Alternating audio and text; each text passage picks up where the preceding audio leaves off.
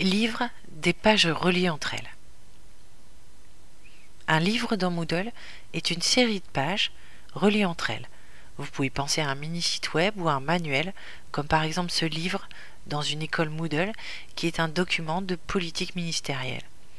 Un livre est utile car vous pouvez non seulement y ajouter du texte, mais aussi des liens, des images, du son et de la vidéo, comme la vidéo ici YouTube.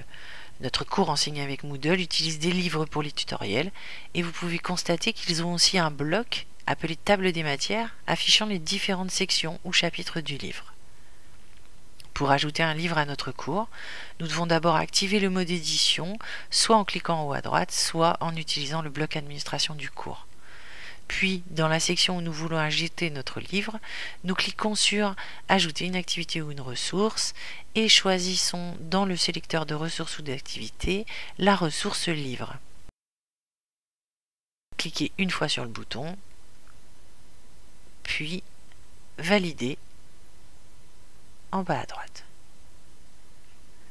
Nous donnons un nom au livre et si besoin une description. Si nous voulons afficher cette description sur la page de cours, nous cochons la case.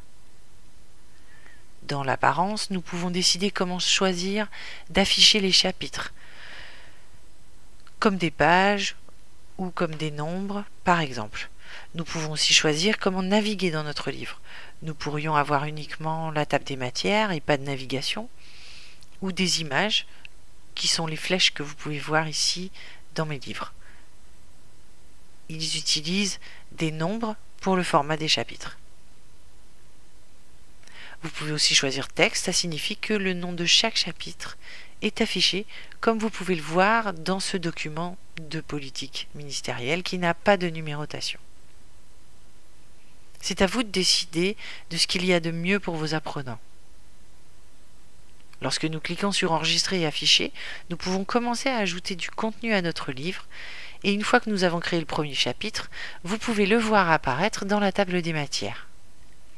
Nous pouvons en ajouter un autre en cliquant sur l'icône plus, et une fois le deuxième enregistré, nous pouvons voir qu'il y a une flèche nous autorisant à changer l'ordre des chapitres. L'icône modifier nous permet de faire des modifications, le X supprime notre chapitre, et l'œil le cachera aux étudiants. Ainsi, nous pouvons continuer avec notre livre en cliquant à niveau sur l'icône plus.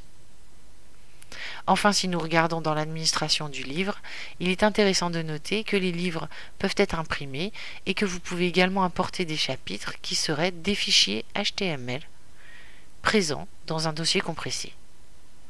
Ça y est, vous pouvez ajouter un livre.